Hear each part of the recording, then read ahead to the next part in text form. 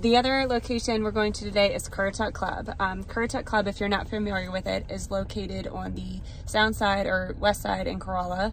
Um, it is home to the Currituck Club golf course, beautiful course. I know it's one of my husband and son's favorites.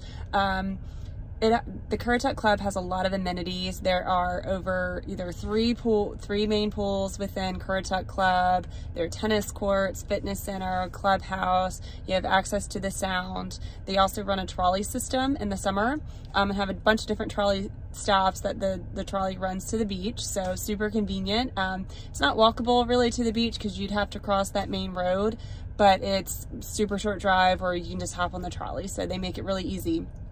Um, I'm actually showing in the hammocks, which the hammocks is part of Currituck Club. It's it's kind of community within a community. It has um, it has its own private pool.